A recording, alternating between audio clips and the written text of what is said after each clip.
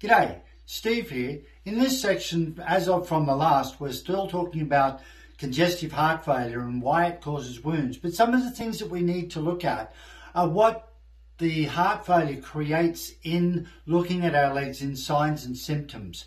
The, one of the symptoms that we've already discussed is that the legs feel very cold to the touch due to a lack of circulation.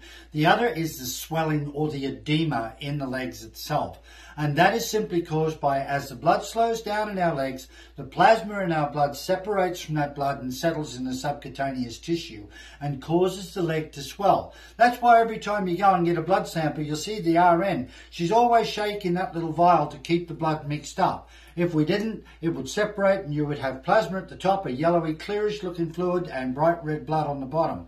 That is exactly what happens in your legs, and that plasma swells the legs up and will in turn push through the leg and cause what's called cellulitis or blisters on the top of the skin, which you can see in front of me right now. Putting on a sheepskin long boot split boot or a sheepskin long standard boot will actually bring the leg back to a perfect temperature of 37 degrees centigrade and will increase that blood flow.